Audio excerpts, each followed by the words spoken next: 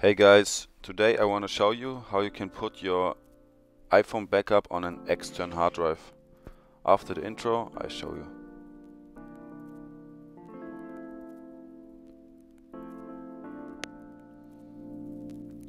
Okay, the steps are pretty simple.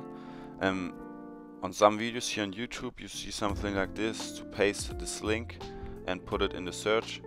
Um, but in my case this um, doesn't work so I have to find other solution and I find uh, one.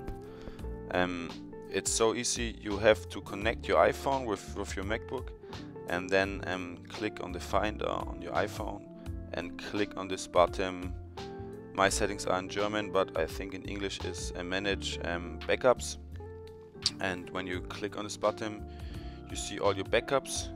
In my case I have only one backup and then you, you can uh, double tap on this and and can im Finder zeigen means like to show this uh, data in the Finder.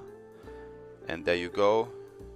You click this button and can copy and paste or drag and drop this data into your external hard drive. And job is done. It's so easy. I, I hope I can help you with this video and thank you so much Thank you.